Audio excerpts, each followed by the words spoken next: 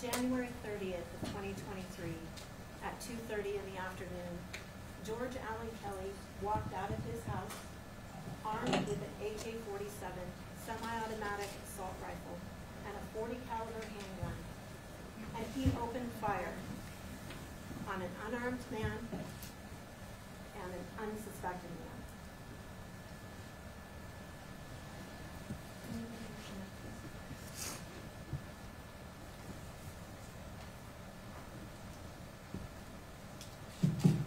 Can y'all hear me better now?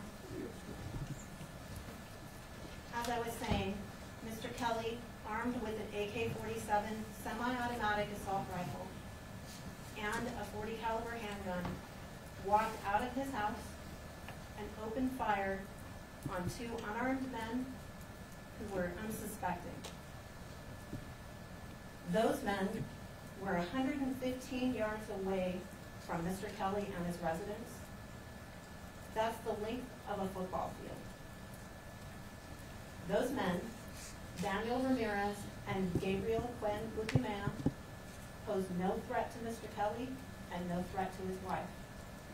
They were walking parallel to the Kelly residence, headed back to the United States-Mexico border.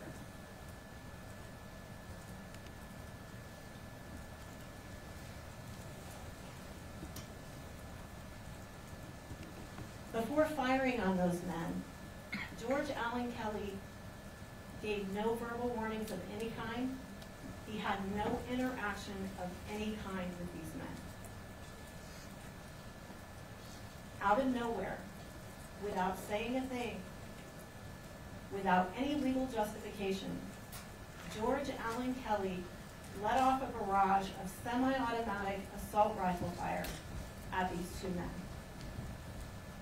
He stood on his back patio and he shot that semi-automatic assault rifle through the patio, across a fence line, through a pasture where he keeps his horse, across another fence line, and across a dirt road, and into the back of Gabriel Cuen Butimea.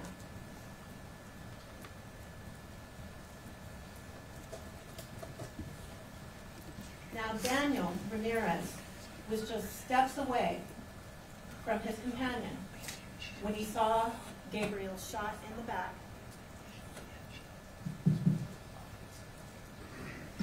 And he saw Gabriel fall to his death. Daniel had to run for his life because the shots were still ringing out all around him. The state anticipates that Daniel will come here to tell you about what happened to him that day. Ladies and gentlemen, that is state versus George Allen Kelly in a nutshell. On the screen you see in front of you, on your right, you see a still photo of the video interview of George Allen Kelly on the day of the murder. On the left is a photograph of the view from George Allen Kelly's back patio as you look out toward the area where Gabriel fell and died.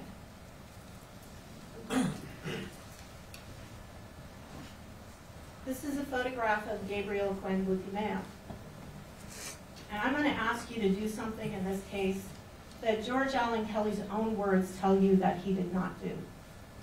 I'm going to ask you to consider Gabriel Cuen Butimea as a person, as a human being, and not as George Kelly described him, as an animal.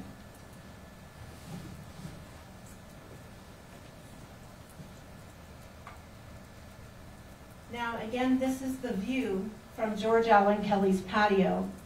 You'll see you're looking out uh, from his patio, um, across, out past his gazebo, and towards that pasture area I described a minute ago. Past that pasture area, past a dirt road, is where Gabriel fell and died. I want to show you the view from the other direction. This is the view through the pergola or the gazebo and back toward the area where George Allen Kelly was standing. And you'll see in that photograph um, sort of on the right, as you look through the gazebo, a door. That's not the main door into the residence. There are actually two doors on this back patio. There's another door that's directly behind that umbrella.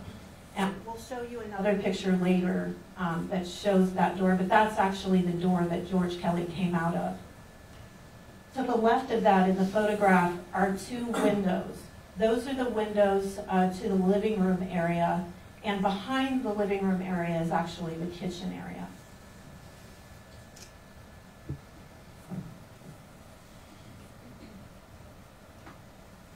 This is a photograph of the semi-automatic assault rifle, AK-47, that George Allen Kelly shot and killed Gabriel Cuen Butimea with on January 30th. And I want to point out a few features on this weapon. There's a green strap on the weapon, and these um, details become relevant when you hear the when you hear the uh, officers talk about what they observed uh, George Kelly carrying later on in the day. So there's a green strap on the handgun, pardon me, and you'll see that there are some wood features on the AK-47 also, and that the uh, metal on the weapon is a little bit aged from use. So you can kind of see that, um, I think they call it bluing, a little bluing on the weapon. And if you look on the, on the front end of the weapon, you'll see that taped with black electrical tape is a flashlight with an orange button on it. And just below the AK-47 is what's referred to as the magazine. Sometimes it's called the clip because that's what holds the bullets that clips inside the gun. And that magazine holds 30 rounds. And rounds are what they refer to, how you refer to the bullets that go into an AK-47. They're called rounds. So this AK-47 holds 30 rounds.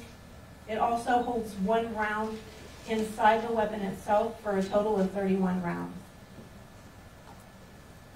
And you'll hear from the experts in this case that this entire magazine can be expelled, can be shot within less than six seconds. This is just the other side of the AK-47 for you to see um, and a better view of that green strap that we referred to earlier.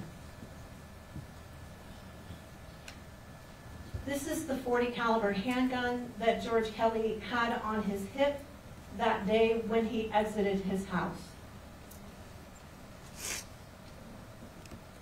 Now I want to go back to this view from George Kelly's patio um, because there may be something that you didn't notice about this photograph.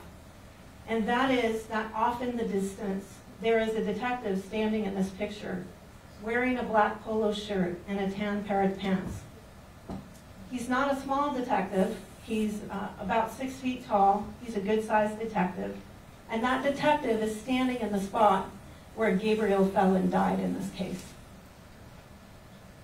And that red circle with the red arrow is pointing you to where the detective is. And if you still can't see it, that yellow arrow is now pointing directly at the detective. That's how far Gabriel and Daniel were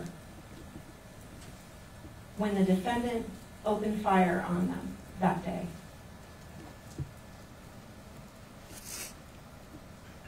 Now I want to turn to the area um, where Gabriel's body was located. This is a photograph of Gabriel, uh, Gabriel's body in place. And what you see in this photograph, first I want to point to the background of the photograph. You see some lights in the background? That is the Kelly residence. And so you can see them sort of off in the, in the, at the top part of the photograph, off in the distance. Now below that, or just in front of that, you see a, a tree. Now keep your eye out for that tree because we're going to go through some other photographs and some drone footage later. And you'll want to have that as a marker when you're looking, when you're looking for things. In the foreground of the photograph is Gabriel's body. And you'll see that the grass was very high and um, probably about two feet at the time. And it's that yellow straw grass. And you can see that Gabriel's body was very difficult to see in that terrain. Gabriel um, is wearing some tan boots, some tan pants, an olive colored jacket, and a camouflage backpack. This is a close-up, a big, uh, closer-up picture of Gabriel. Again, you can see the tan boots, the tan jacket, or the tan pants, pardon me, the olive-colored jacket, and you can see a camouflage fanny pack uh, along his side. And you can see the camouflage backpack, which is kind of up over his head. And you can see from these photographs that Gabriel is unarmed.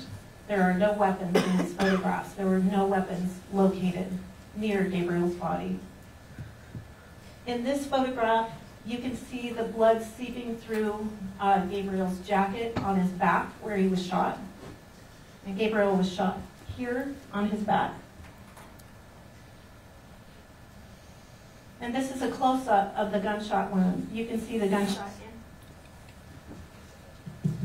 You can see the gunshot entry wound um, on his green jacket.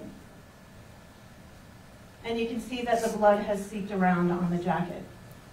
Also in this photograph, you can see that strap from the fanny pack that's down along the side.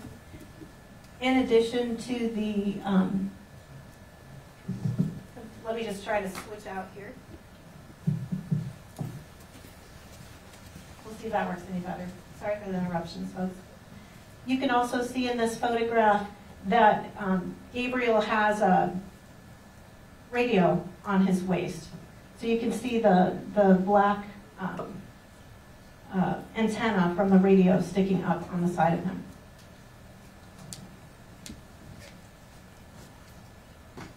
And now I kind of want to give you some perspective on what we're looking at here. We looked at those photographs. We talked about what the terrain looks like.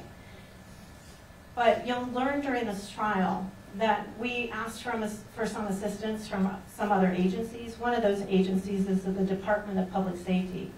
And they have an aerial drone footage. And they came out with their aerial drone and they took some video footage and some photos of the terrain.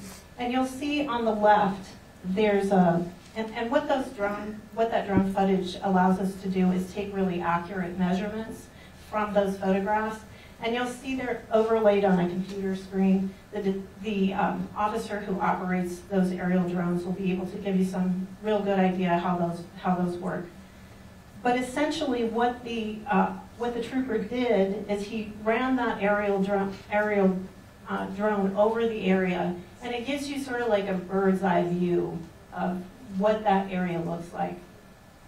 And if you take a look, it's kind of hard to see in the photograph on your left, um, but you'll see that there's an up and down line in blue, and that's the north-south line. And you'll see a, a line that goes left and right. That's your east-west line, that's in red.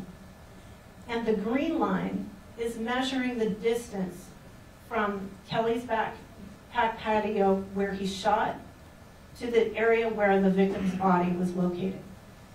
And it's kind of difficult to see the end of the green line, but can you see it's on the other side of that dirt road? That's the location where Gabriel's body was found. Now on your right, you'll see um, a, the still shot of the aerial drone footage. I'm going to play that aerial drone footage for you, but I, it goes kind of quick, so I want to give you a little bit of a preview of what you're going to see. What you're looking at right now is like three quarters of the top of the Kelly residence. And you can also see the Kelly back patio there. You'll see there's a fountain. You might want to keep that in your mind as a reference when you're looking at some of these photographs. And to the right of that, you see some orange cones. It's sort of in that general vicinity um, that George Allen Kelly shot that day. And those are where we took the measurements from on the patio, was from that those orange cones. And you'll learn throughout the trial that to the right of the orange cone is the area where the spent shell casings were located in this case. So just to give you some orientation on what you're looking at and what you're going to hear um, during the trial. But just past this patio, you'll see the gazebo that we saw in the other photograph. Then you'll see a pile, a metal structure on the right, it's some kind of smoking pit. And then you'll see a pile of wood just before a fence line. Then you'll see a pasture where the defendant keeps his horse. You'll see the second fence line, and then you'll see the dirt path, the dirt road, dirt path just past that. And then it's past that that you see the tree we saw in the photographs, and then four orange cones that depict uh, the area where the victim's body was located, where he fell and died.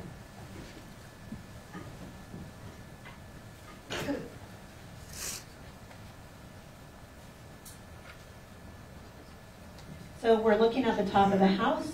That's the orange cones. We're going through the pergola. There's the wood pile in the first fence line. And it's kind of difficult to see, but if you keep your eyes um, peeled, you'll start to see now the second fence line, and it sort of goes up at an angle to your left. And now you see the dirt road and the tree and the four cones where um, Gabriel fell and died. And don't worry if you missed that second fence line. We're going to play another video um, that show that goes a little bit slower and you can you can have a better look.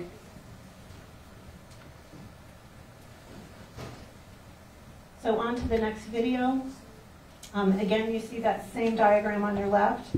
And on the right is the second drone video. So we're looking again at the top of the Kelly uh, roof.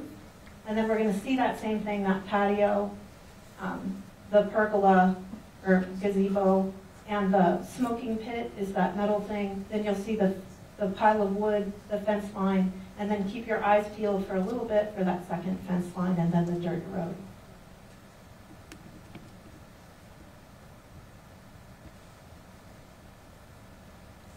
And there are your orange cones, the gazebo, the first fence line,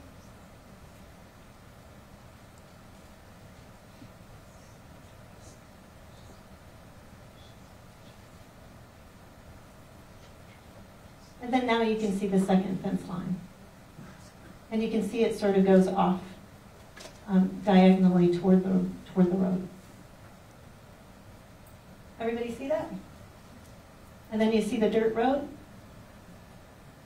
and the four, corn, four cones where Gabriel's body um, was located.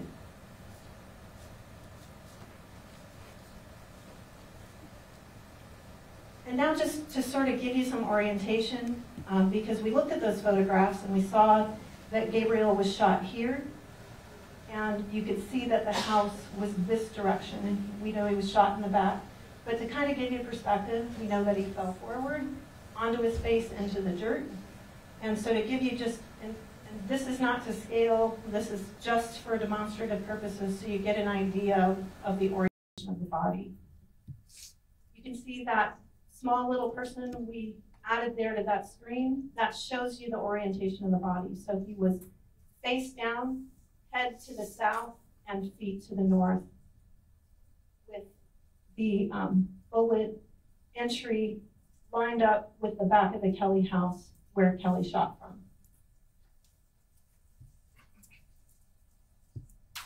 Now, based on all of this information and based on what happened that day, George Kelly was charged with two things. He was charged with second degree murder and he was charged with aggravated assault with a deadly weapon. The second degree murder um, relates to the death of Gabriel, and the aggravated assault with a deadly weapon uh, relates to the shooting at Daniel. So, second degree murder is one of the more complicated crimes. Um, lucky you all, but it's what's called a unified offense. That means there's three ways that the state can prove second degree murder. You all don't have to agree on which theory of second degree murder um, the defendant committed, you only have to agree that he committed one of these theories of second degree murder. And you all have to, you all have to be unanimous that he committed the murder. You can just decide that, it, that there are different ways in which he committed it. So I'm going to talk to you about the three ways um, that the state can prove during this trial that the defendant committed the murder. The first way is by proving that the defendant intentionally killed Gabriel Glenn Buchanan, that he shot him, that he intentionally shot him, and that he caused his death. The second way is the state can prove that Kelly caused Gabriel's death by conduct that he knew would cause death or serious physical injury. So those are the two simple ways. The third way is the more complicated way, but it's also the easiest way. So you can, we can also prove that the defendant committed second degree murder by under circumstances manifesting extreme indifference to human life, he recklessly engaged in conduct that created a grave risk of death and thereby caused Gabriel's death. So that he behaved recklessly, manifesting an extreme indifference to human life, and that he created a grave risk of death and did cause the death. And the risk has to be such that disregarding it was a gross deviation from what a reasonable person would do in the circumstances. So that's second degree murder. One of those three ways is how the state proves that the defendant committed um, committed second degree murder in this case. And I submit to you that the facts of this case, the defendant is guilty on all three of those theories. The second count is aggravated assault with a deadly weapon. And in aggravated assault with a deadly weapon, the state has to prove that Kelly intentionally placed Daniel in reasonable apprehension of imminent physical injury. In this case, that's by the conduct of shooting a gun in his direction. That would place anyone in reasonable apprehension of imminent physical injury. That means that they think they're about to get injured. That's pretty much what that means. And that he did so using a deadly weapon. We know he used his AK 47.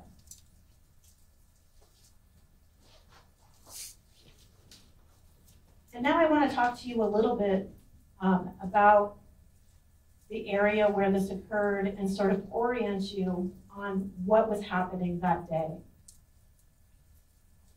This is just a map of Santa Cruz County, just to give you an idea of the location where this happened. We're in Nogales. Um, we can see that on the map there. We're in the area that's a little bit white. Um, all the major uh, residential areas in the county are on here, Rio Rico, um, Tubac, Sonoita, Elgin, and you can see those all on the map. You see the area circled in yellow. That is Kino Springs. That is the area where this event took place.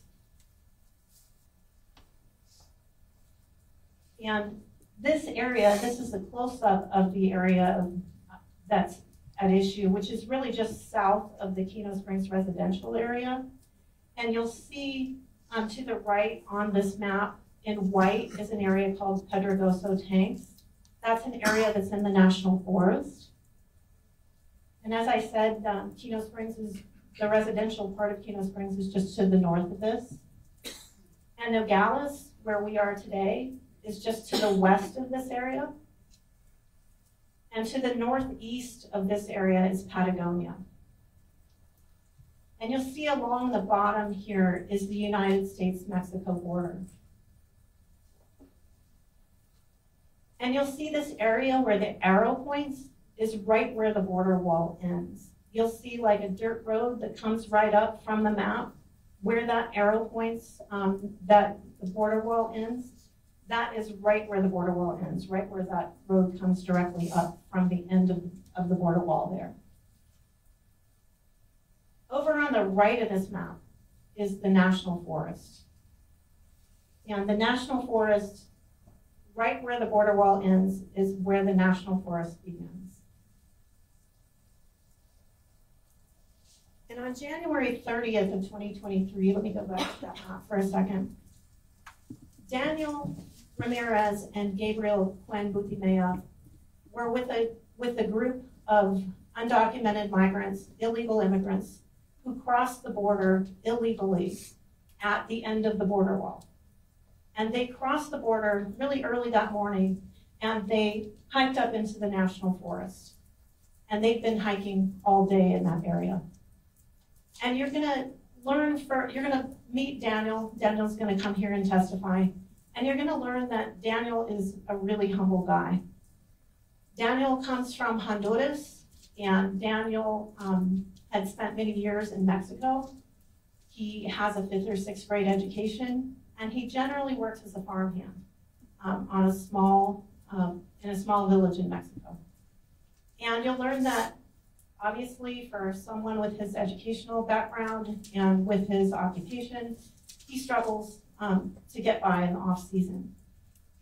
And in sometime before January of 2023, he was working a masonry job during the off season in Nogales, Sonora, and he he met Gabriel Butimea.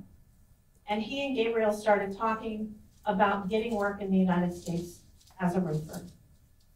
And as they talked, um, Daniel decided that sounded like a good idea. And so he paid illegal um, folks to, to um, come across the line illegally. He paid a fee to come across the line.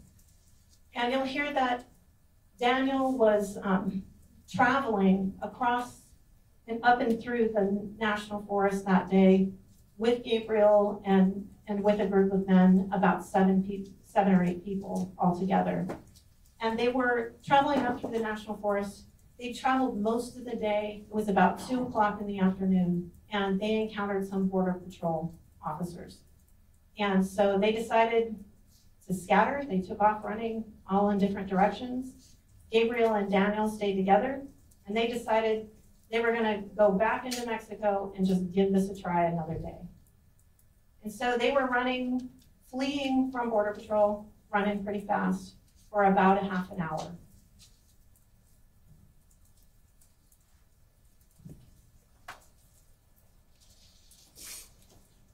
And it was at about that time that they decided they were going to take a little bit of a rest. They were, they were worn out from running. Um, they're headed back to Mexico, and they're going to slow down and take a rest. And Daniel didn't even have time to register that there was a residence around. The only thing Daniel saw was a red horse, a skinny red horse. And he saw that horse off to his right. He's walking along a dirt path um, dirt path is sort of off to their right, and he sees this skinny red horse off to his right. And they're walking along, and they see this skinny red horse, and out of nowhere, a barrage of semi-automatic assault rifle fire comes their direction. And they're walking, and Daniel sees Gabriel just a few feet ahead of him get hit in the back with an assault rifle fire, with the assault rifle fire. And he sees him grab his chest and say, I'm hit. And he sees him fall in front of him and die. And then Gabriel, because the shots are still ringing out all around him, takes off running and runs for the border, running for his life.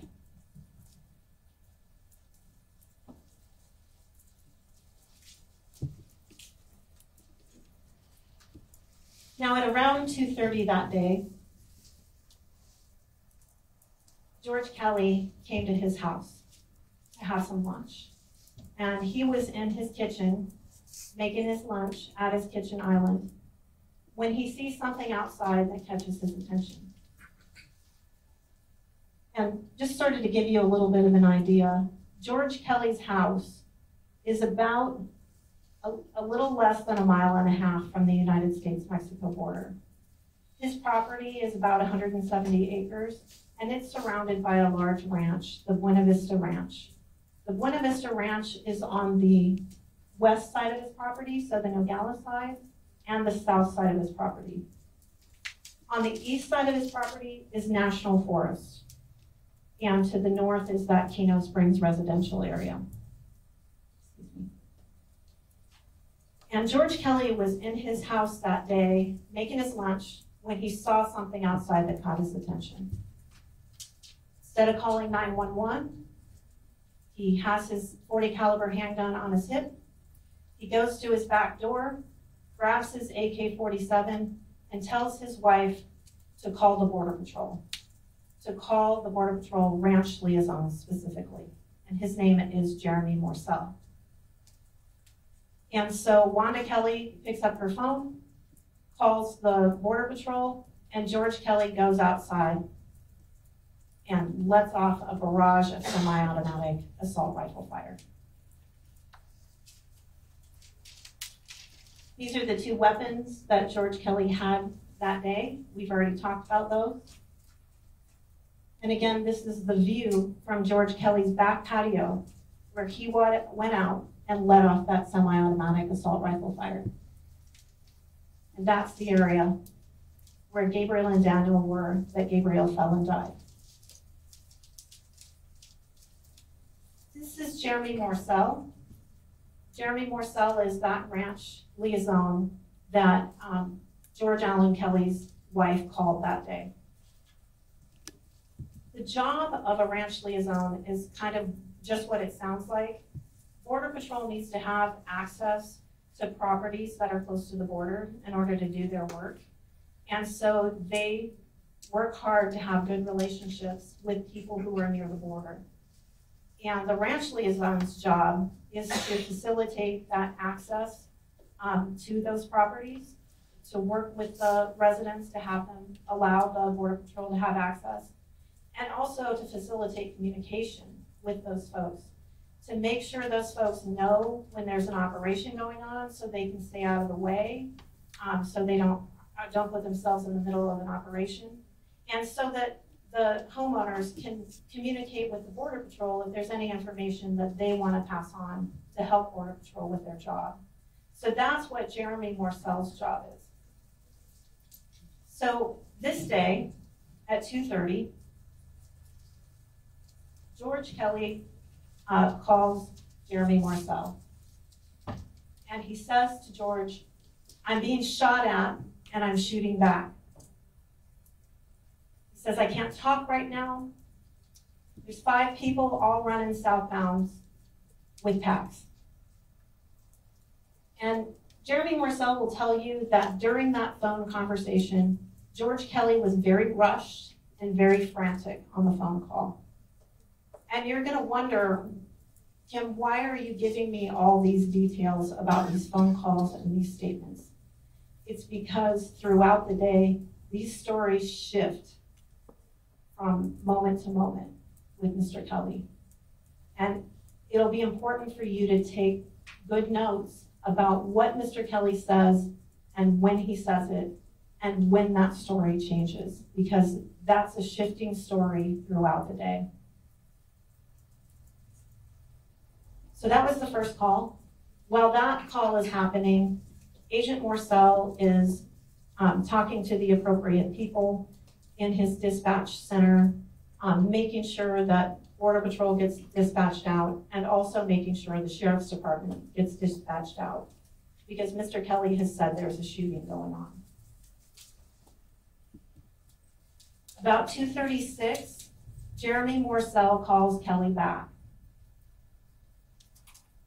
At this time, Kelly gives him a slightly different story. He tells him he had an altercation with these people and they're headed toward Kino Springs, which is now the opposite direction that he said during the first phone call.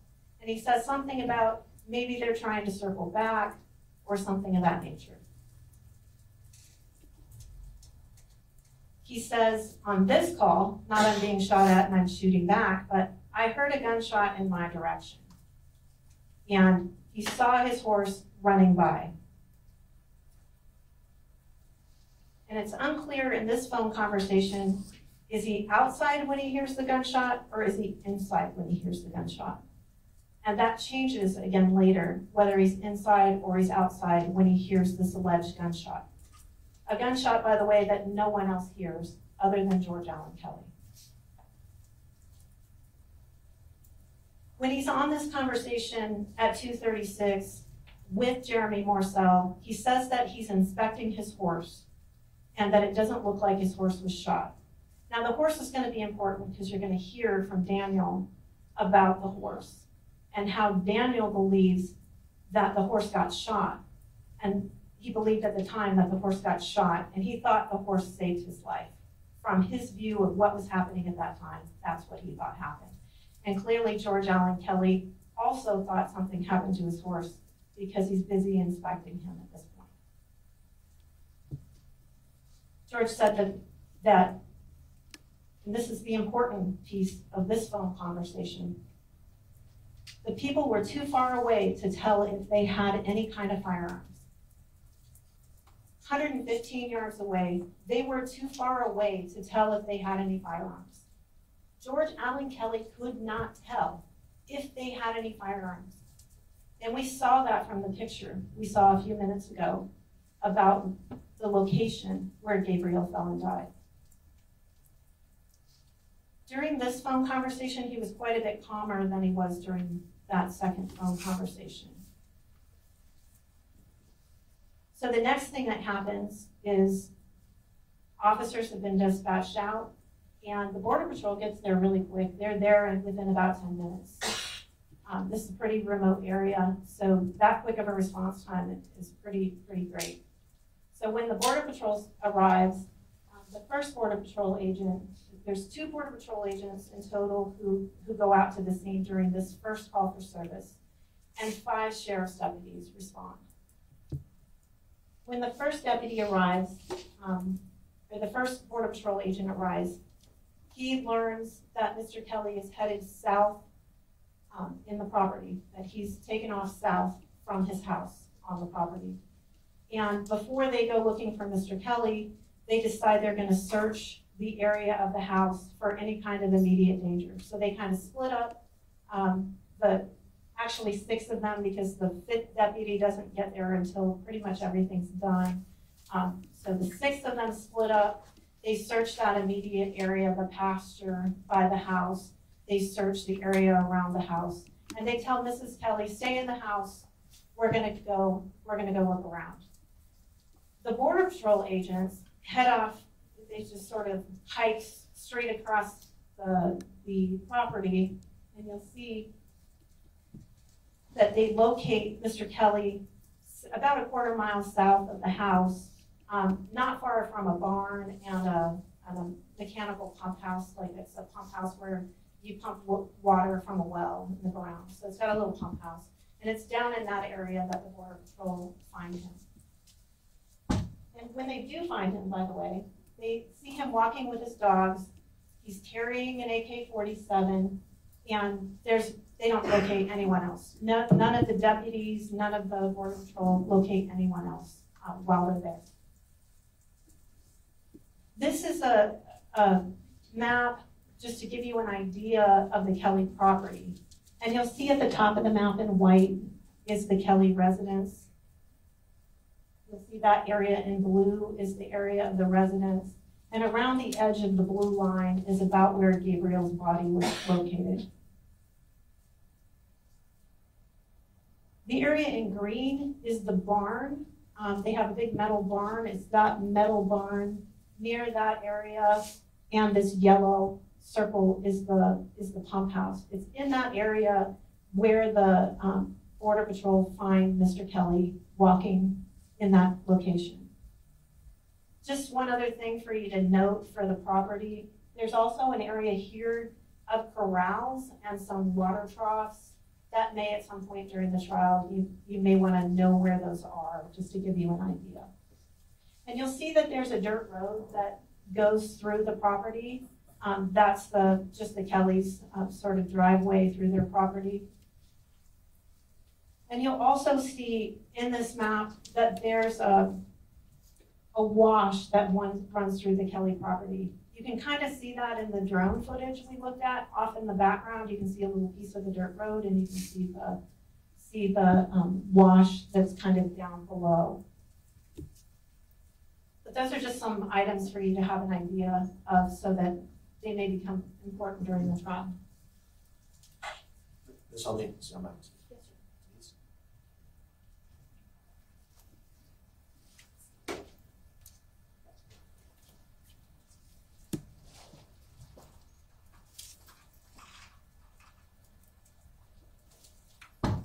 Um, Court reporter's been going for about an hour and a half, and uh, they need a break, as do the interpreters. Keep them going too much farther beyond that, but all the data we have suggests generally that they've prone to mistakes. So we'll take a ten-minute recess, uh, and um, we'll continue with the opening statement. So we were talking about, um, about three o'clock, three fifteen that afternoon, uh, the border patrol located Mr. Kelly. And they found him walking with his dogs, and he was carrying his AK forty-seven. It was that AK forty-seven that has the green strap on it with the wood, um, pieces to it and the, and the metal. And one of the officers actually noticed that the AK-47 had a flashlight taped to the end of it with black electrical tape. And during this call for service, the officers had all split up into separate teams. So they took three separate statements from Mr. Kelly during this time. And we'll go through those uh, during the trial, uh, but we're not going to go through all of them here today. This is the first statement that George Kelly gave about three o'clock or three fifteen to Deputy Castaneda.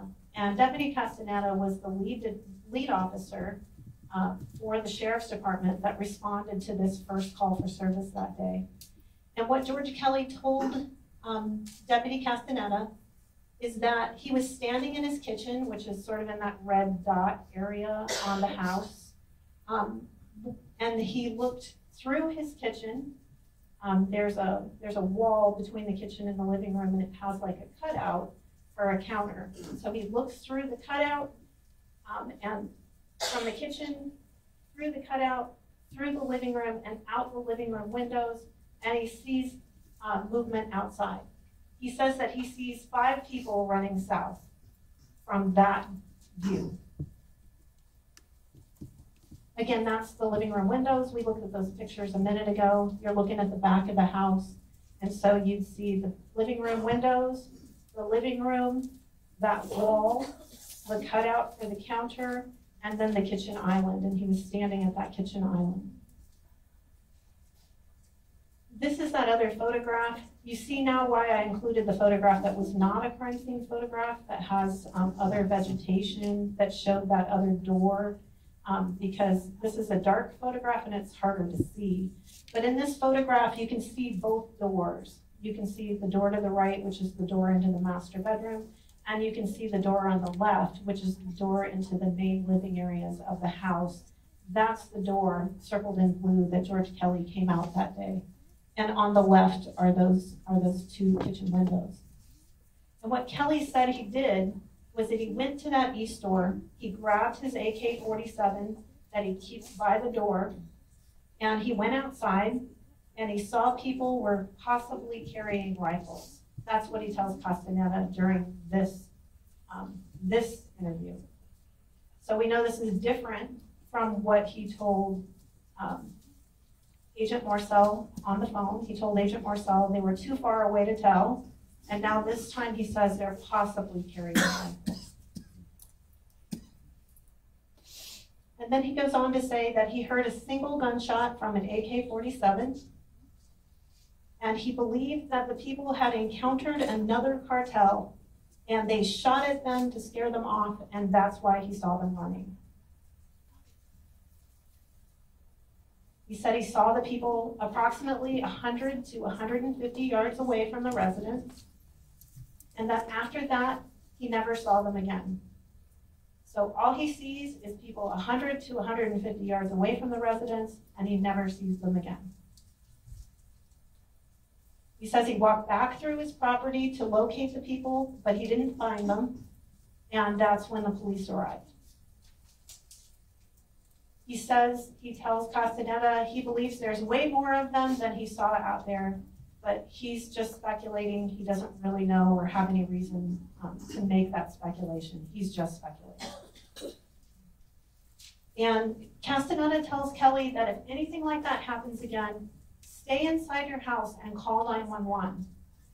And Kelly says something very interesting at that time. Kelly says, he understands Castaneda's given him advice, but he's going to do what he had to do to protect his property. He was conscious of the consequences, and he would take responsibility for his actions. The deputy reiterated to him again, stay inside and call 911. Here's the important part about all of these three statements that he gave to law enforcement that day.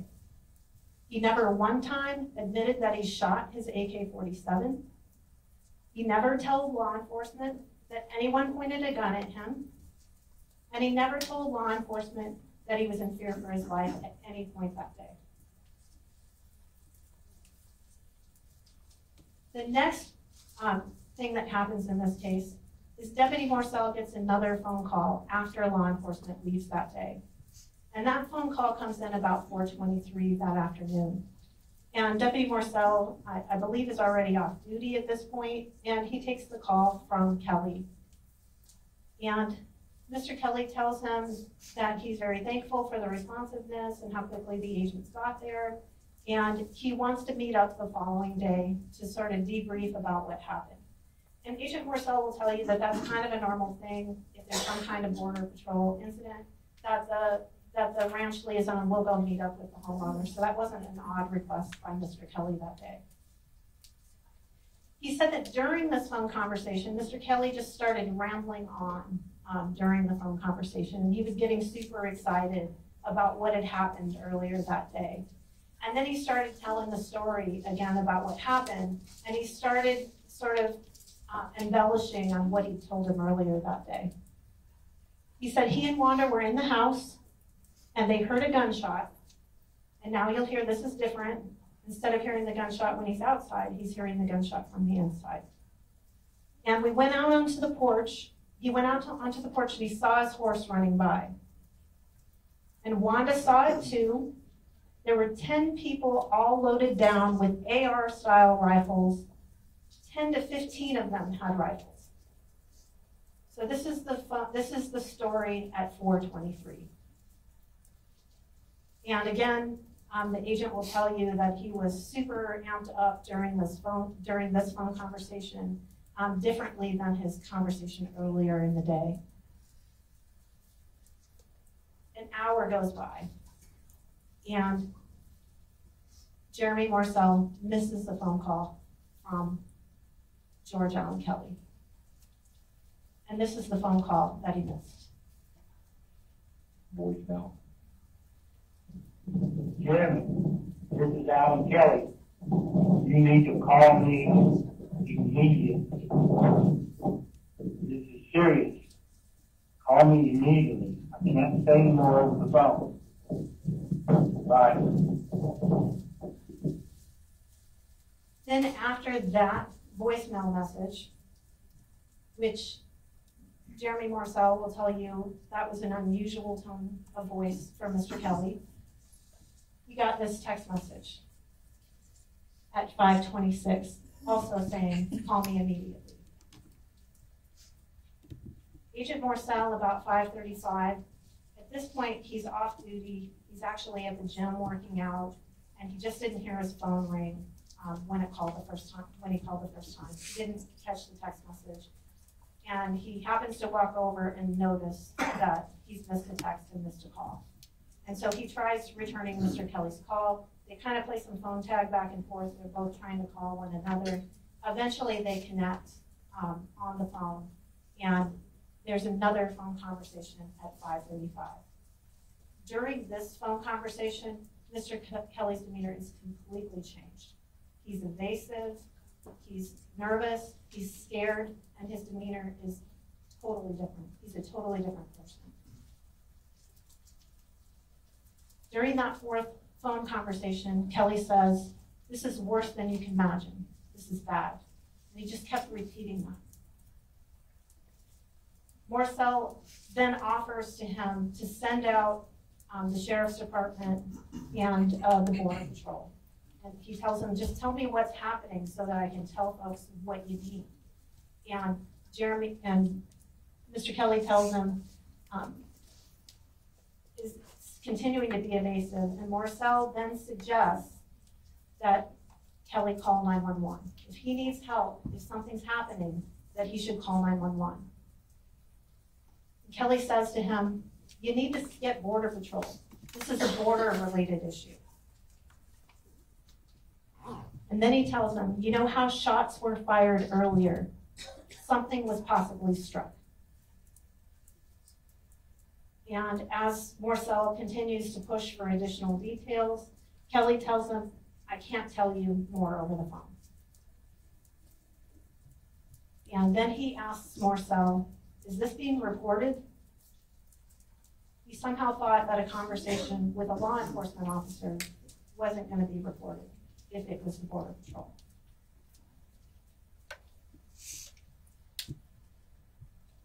So, Mr. Kelly did not take Agent Morcell's advice. He did not call nine-one-one. But Agent Morcell called his dispatch, and his dispatch called nine-one-one. And then nine-one-one called Mr. Kelly. And when nine-one-one called Mr. Kelly, the night, the dispatcher had a very interesting conversation with Mr. Kelly. When she first speaks to Mr. Kelly, Mr. Kelly says, it's very serious, ma'am, and I can't, I'm not gonna talk over the telephone. Yeah, I know I can talk to you, but you're responsible for what I say, and I'm responsible for what I say. Uh, I didn't shoot at any, I haven't said I shot at any and then his voice quivers and he says, anything. I don't want to get you in trouble. And I, I don't want to get me in trouble. Okay, he sighs. You know, you know the thing, you have the right to remain silent, and anything you say can and will be held against you in a court of law. I'm not, I'm not admitting to anything I've done, but all those things tend to add up. And I don't know what happened. I just know I just know what I saw about 15 minutes ago. And then when the when he eventually gets to the point that he's marked a body with a flashlight, he tells her, I have it marked, I've got a flashlight on over it. And the dispatcher says to him, Do you know who it is that you saw? And he says, No, I didn't say I saw any body. I just saw a body. And then he goes on to say, and from, from what in that, in that I only approached the body to make sure that the, that the animal, uh, it's not a vegetable or a mineral, the animal wasn't alive, and it was not alive. There was no signs of blood. Uh, there was just a, a, an animal laying face down, an animal. And you know what an animal is. It's not a vegetable or a mineral, it's a body. And you know what I'm talking about. But I think more than the words of what he said to dispatch, when you hear the tone of what he says during this call, you'll see the impact of what it is that he's saying.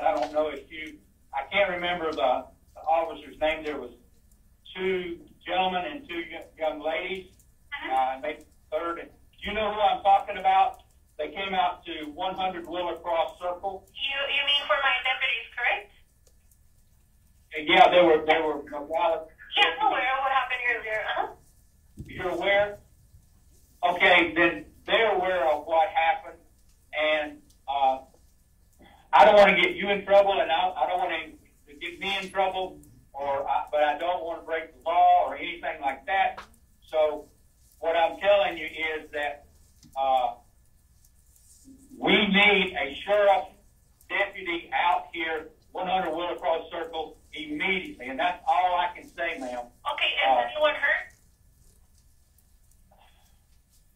I need to know because if someone's hurt, I need to send an ambulance too. There's, there's no, there's no, Okay, do you feel more comfortable talking to a deputy over the phone? uh, well,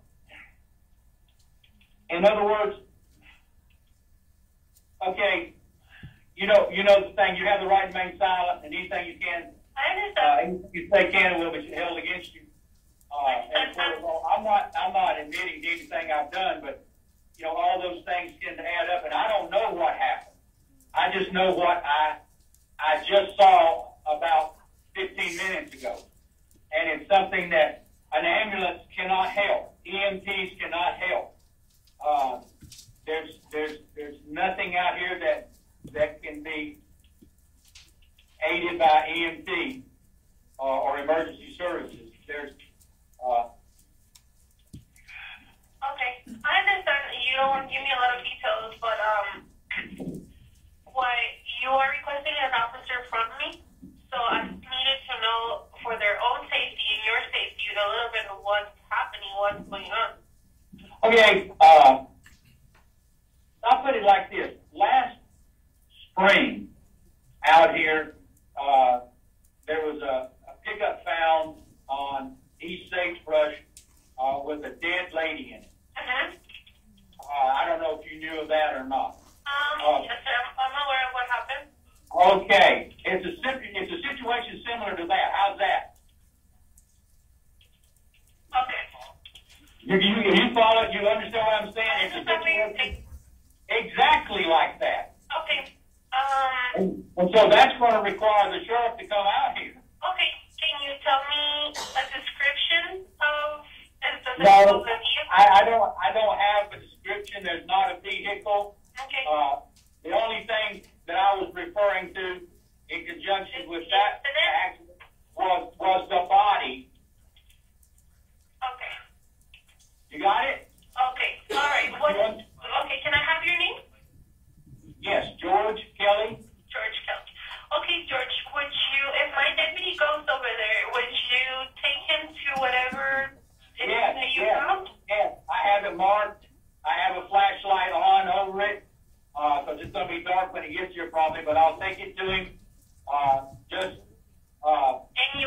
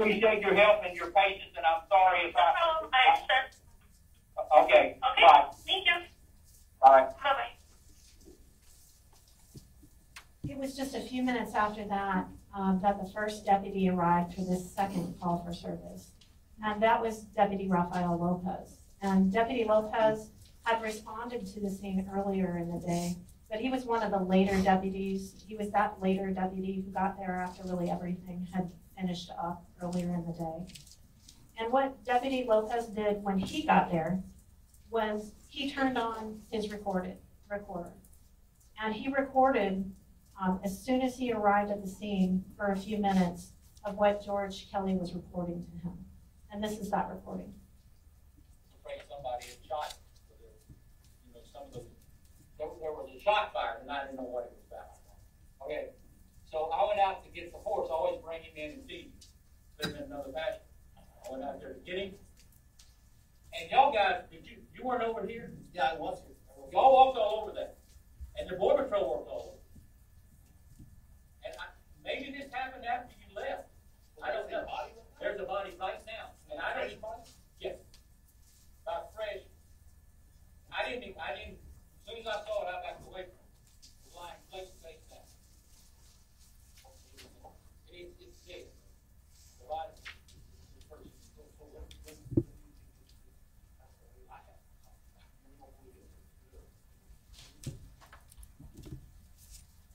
I, I have no, I have no way of, of, of being judged if he was mute, you were mute. The drug runner. Uh, he, he, he had a pack on, him, a small pack on. him. Now, if you remember, I- we saw five to ten drug runners come through with large backpacks. Yes, he did not have a large backpack on, him, but he had a small and he's in tan here and camo and uh, So, I just, as soon as I was trying to get right back to the call, I called border patrol because they were the first ones I called. Because I didn't really know how to call you guys. So I called border patrol, Jerry Morissette, he called the border patrol agent, uh, and, and they said, and he said, they're gonna call the sheriff and they'll send someone out there. Then your, your secretary or or dispatcher, I suppose, called me, I was on the phone with her when you drove up. Okay. And she said, he's coming out right now. And, and, and, and, what happened? I have no idea. I have no idea. I have no idea. I have no idea. And you know, if you were me, you got no idea.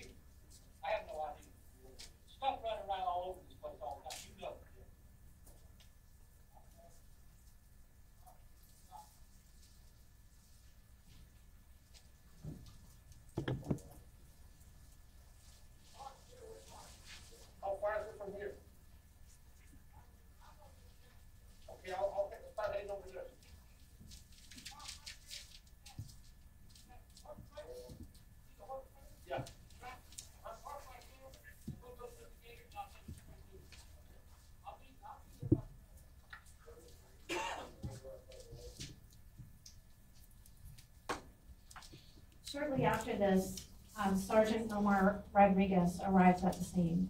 And Sergeant Rodriguez meets up with Deputy Lopez and George Kelly by a horse trailer that's down by a gate um, into the, into the pasture area of where the, um, where the horse was kept in the, by the house. And when Sergeant Rodriguez arrived about six fifteen, he saw that Kelly was wearing that Glock handgun um, still on his hip. And he asked Mr. Kelly if he would be willing to take that handgun off for officer safety reasons and leave it behind in the trailer. And Mr. Kelly agreed to do that. He took the weapon off and left it um, in his horse trailer that's right next to the gate in that pasture. From there, Kelly took Rodriguez out to the body and they walked around on that dirt path that goes around from the, from the driveway that you saw, that dirt road, that's the driveway. They took the dirt path around the outside of the pasture back to where the body was located. And they found the body near that tree that we saw, and the defendant had take, had hung up a flashlight in the tree so that they could locate it, because it was starting to get dark. And as I mentioned before, the sergeant found the, uh, Gabriel's body laying face down with his head toward the south, with his face implanted in the dirt. And his, um, legs were towards the north.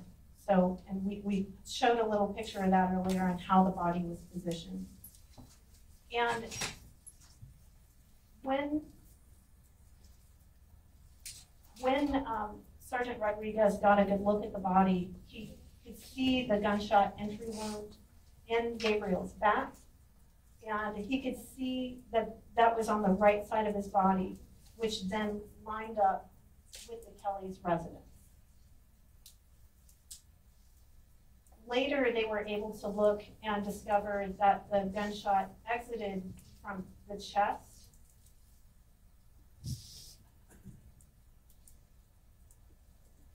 He made another, a, number of other observations about the body. He saw that there was no pulse, um, the extremities were, were cool, but the torso was still a little warm to the touch. He looked around the area because of the story that Mr. Kelly had about these other people and, and things of that nature. He looked around and he saw there weren't any drag marks, there wasn't a blood trail, there was nothing to indicate there were groups of people nearby. He saw nothing like that in the area. And nothing at all to indicate that a body had somehow been dumped there or anything of that nature. It appeared to the, to Sergeant Rodriguez as if Gabriel had fallen there and died. And he noted, as I said before, that that gunshot wound generally lined up with the trajectory to where George Kelly was shooting from on his back patio. And again, just a reminder of the photograph of how he found the body. And I think we've already gone through all this, but it, it kind of shows you where that gunshot wound was lining up with the residence.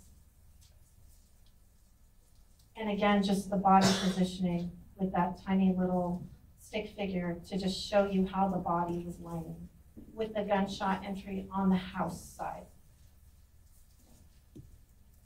Now, a short while, a little while later, after they do their investigation there at the scene and they gather the information uh, about what had happened earlier in the day from all their sources, George Kelly's transported um, to the sheriff's department for an interview. He's read his Miranda rights and a video interview is conducted of him. And this is the still shot from that video interview that happened about 8:29 p.m. that night. So we're talking maybe six hours after the homicide. And you'll learn that during that interview, George Kelly tells Detective Ainsa that he was eating lunch in the kitchen, and when he looked out through the living room window, and he heard a shot. Now he's in the house when he hears, hears the shot, before he's outside when he hears the shot.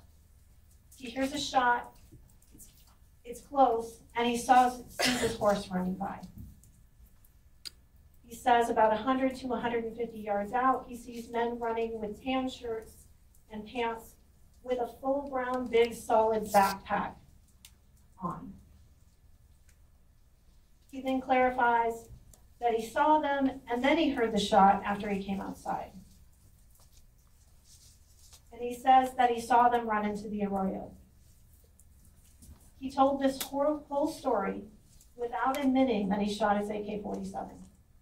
Never admitted he shot his AK 47.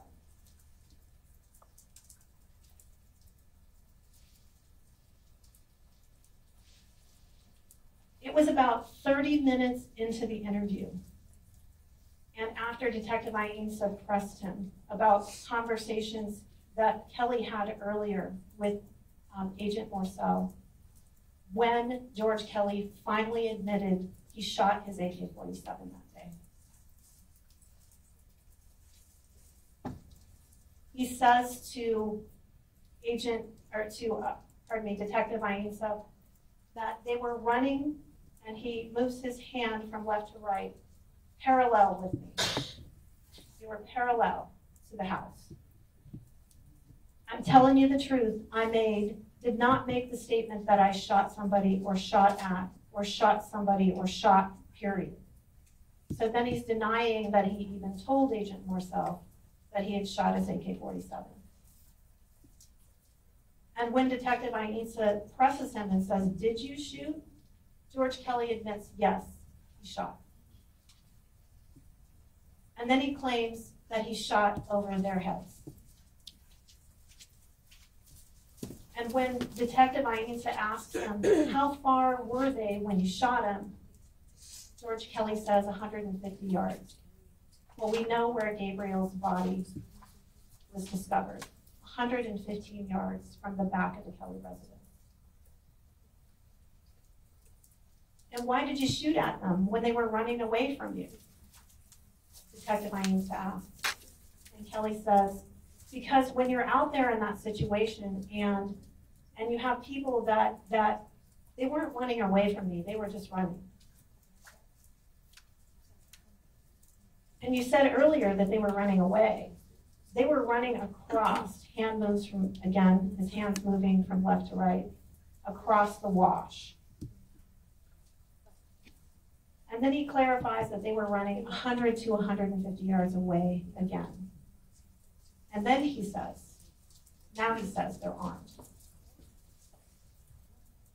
And the detective then asks him, when they were running with the rifle, did they ever point their rifle at you? Up until this point, George Allen Kelly has never said a peep about these individuals pointing a gun at him. And we know based on what he told Agent Morcell earlier, that they were way too far away for him to see if they had any handguns or had any kind of weapons. And what Kelly says at this point is he says, if a guy's running and and and he turns, he's gonna turn and he's gonna point it at you. Just in a just in a mode of turning. He's gonna point it at you. So yes, they turned the rifle and pointed it towards me. And again, that's with the knowledge that we already have, that he already told Agent Morcell that they were too far away for him to tell if they had weapons. So what's important about the statement that Kelly made to Agent, or to Detective Ainsa? He didn't admit he shot his AK-47 until 30 minutes into the, into the interview, and that's because he had something to hide. He knew he'd killed Gabriel. He didn't say anyone pointed a gun at him until Di Detective Ainsa asked him about it. And he didn't say he was in fear for his life until Detective Ainsa suggested it to him. Now, after this interview with George Kelly, late into the evening of January 30th of 2023 and early into the morning of January 31st of 2023, detectives Ainsa and other members of his team worked to serve a series of search warrants. They served some search warrants on the house, um, they served some search warrants on the vehicles and the surrounding outbuildings. And you'll hear that during that series of search warrants, um, they recovered the AK-47 that we showed you in the picture that was used in this incident. They asked for assistance from, we're a small department, so we ask for assistance not just from the Department of Public Safety, but also for, from ATF. They have a, a dog that can sniff for explosives and can find uh, spent casings. And so we utilize their canine uh, to look for the spent casings.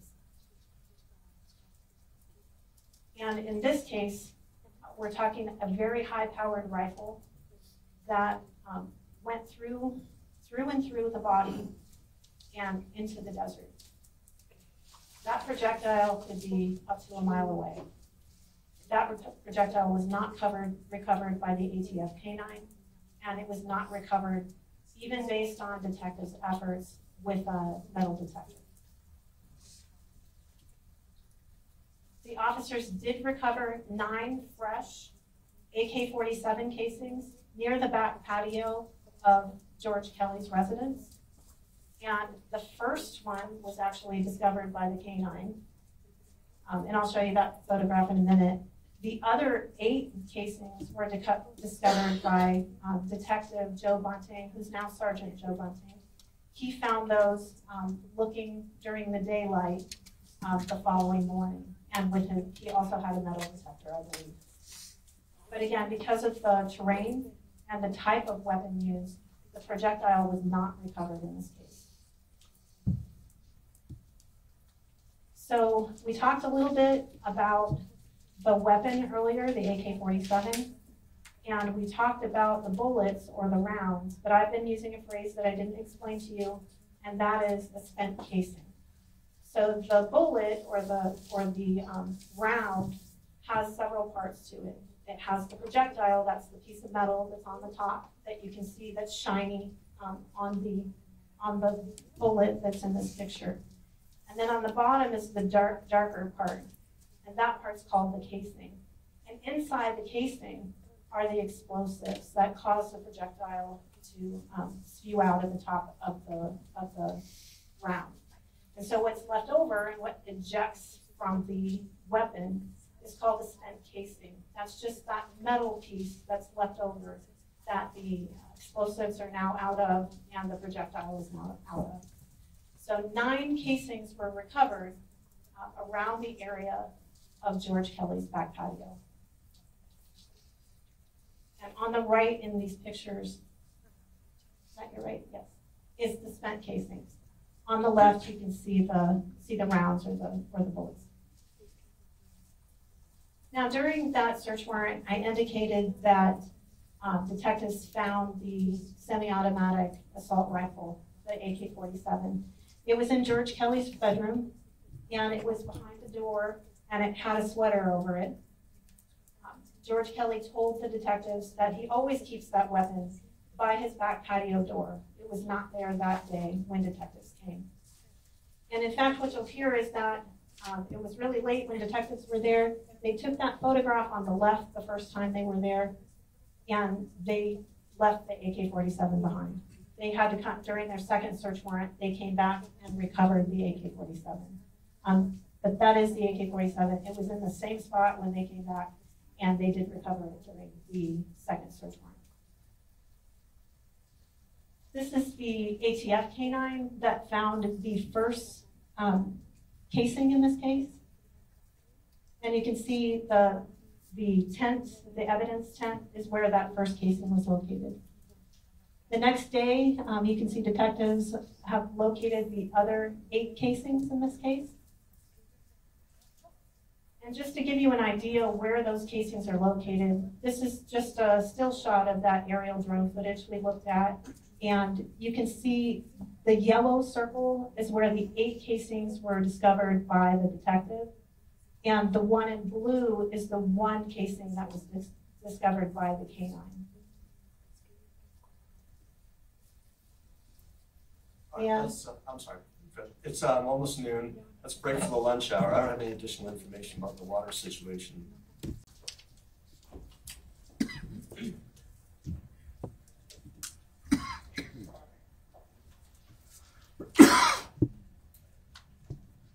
So good afternoon, everyone.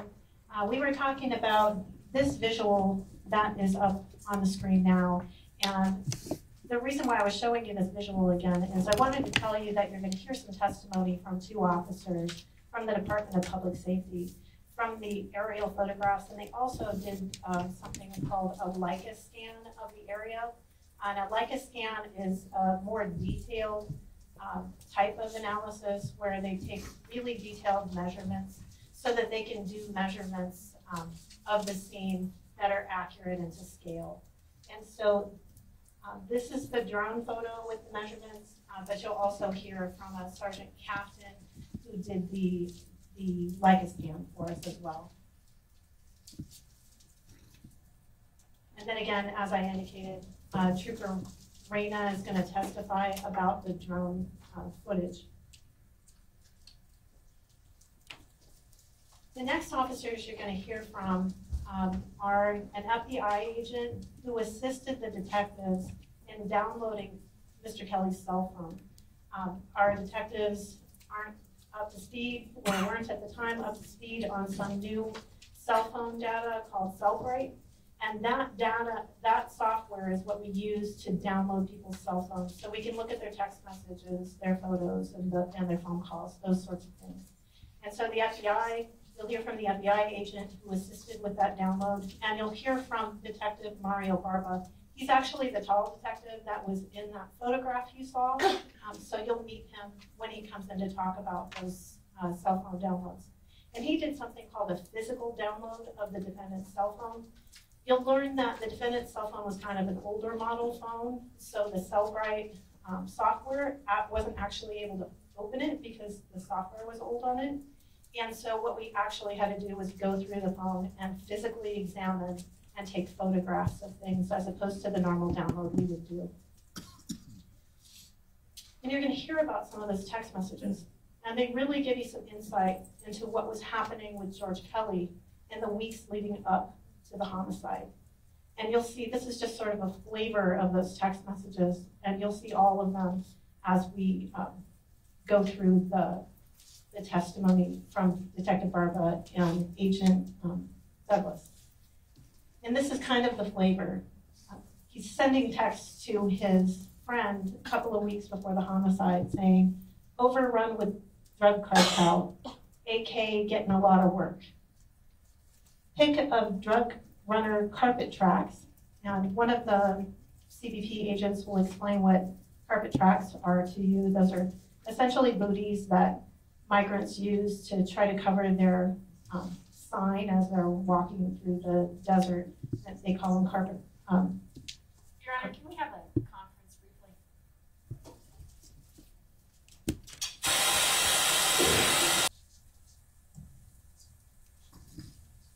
Sorry for the interruption. As I was saying, uh, the first text message talks about Mr. Kelly on January 13th of 2023, which is just two weeks before the homicide, is texting his friend Gary Miller, overrun with drug, drug cartel, aka getting a lot of work. And then a second one, pick of drug runner carpet tracks, 33 dealt with this week, AKA hot, AK hot.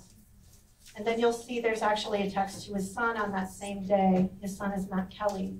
And that text message says, 33 drug runners this week. Pick attached is of drug runner carpet booties. AK-47 hot. Wanna backup. And his son responds with a note and a, and a hand emoji with the thumb down. And he says, be careful. And Mr. Kelly responds, careful is not an option. It's either fight or run, and I'm too old to run. Mom is L and L or locked and loaded also.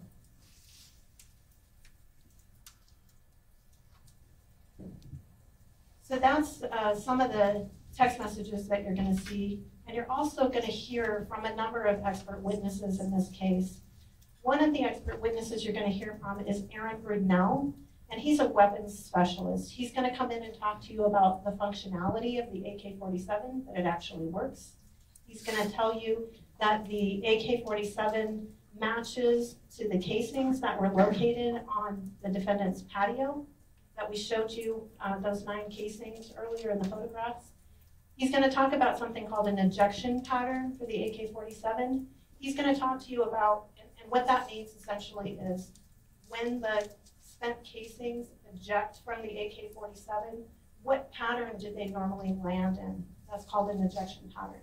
So he'll talk to you about what the ejection pattern for this weapon is, and you'll learn um, why that's important from the experts as they testify. He's also going to talk to you about an examination of the victim's clothing. He's going to tell you that he didn't see any soot or any stippling. And what that tells you is that this was not a close-up shot.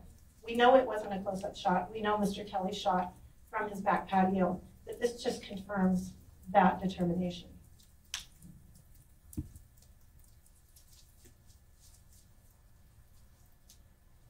Next, you're going to hear from two other experts from the Arizona Department of Public Safety Crime Lab, and they're both forensic scientists as well. And these two forensic scientists did some work essentially just to check the boxes to make sure. Um, we don't expect that on a casing we're going to find any DNA or any fingerprints. And that's because of how hot it is inside the weapon. Um, that just burns off any DNA or any fingerprints. But we went ahead and checked those casings anyway for fingerprints and DNA, and we didn't find any fingerprints on the casings, and we also preserved whatever was on was on the casings as far as DNA goes.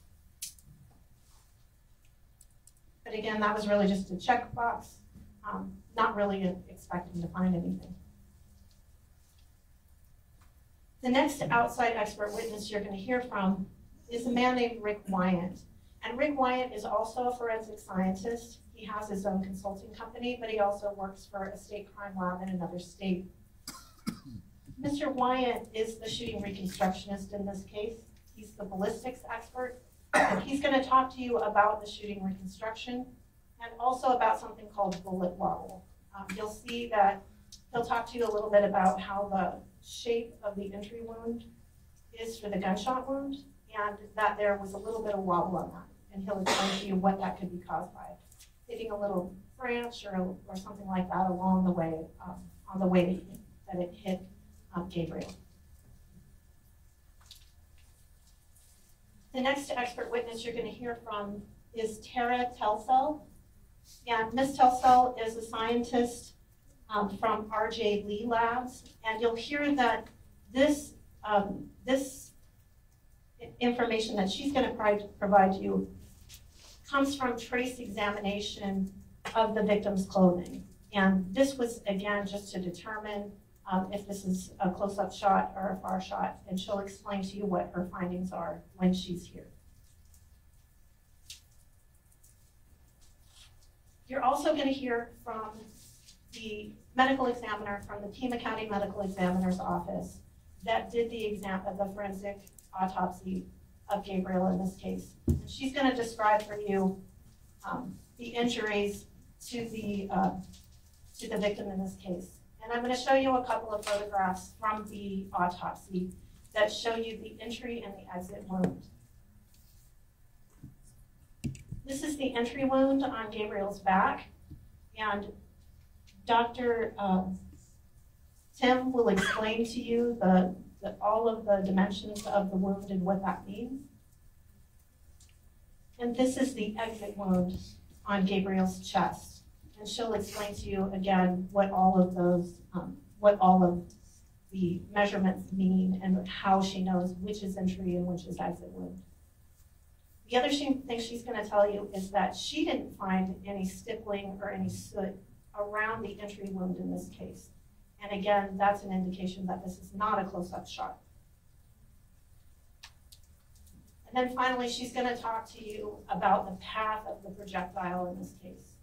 She's going to talk to you about how the projectile entered through these three ribs back here and essentially blew out those ribs and traveled through the ribs, through the, um,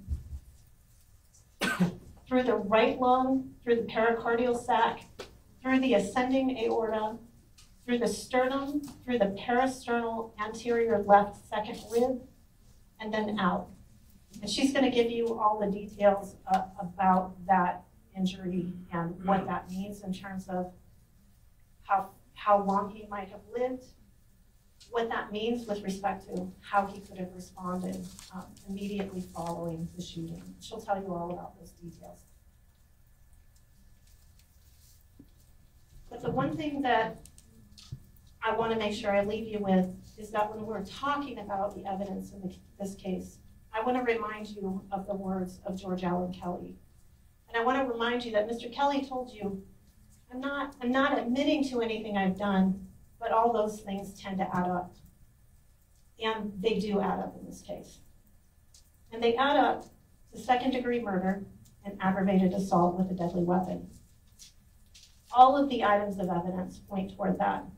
We've got the ballistics and the bullet trajectory, the medical examiner's testimony,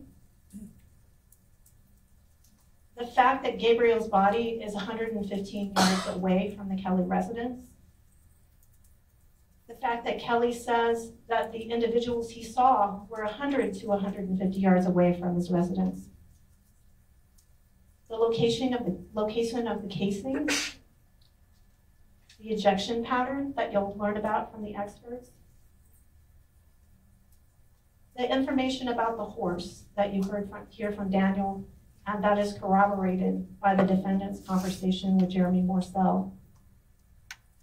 The fact that no one heard that alleged first shot except George Allen Kelly.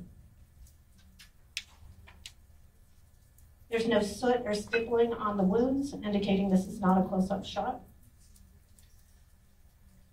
And Kelly admits that he shot his AK-47, and we have matched the casings by his patio to his AK-47. And Kelly admits that these people weren't coming toward his house. They weren't approaching him. They weren't any kind of threat to him. They were going parallel to his residence. And I just mentioned the AK-47 matched the casings. And then finally, you'll have the testimony of Daniel, who will tell you what he observed that day. And all of those things will lead you to find that the state has proven beyond a reasonable doubt that the defendant is guilty of these charges. Will leave you, the state's evidence will leave you firmly convinced of the defendant's guilt in this case. The defendant has, has told the officer that he was conscious of the consequences of his actions and he would take responsibility for those actions.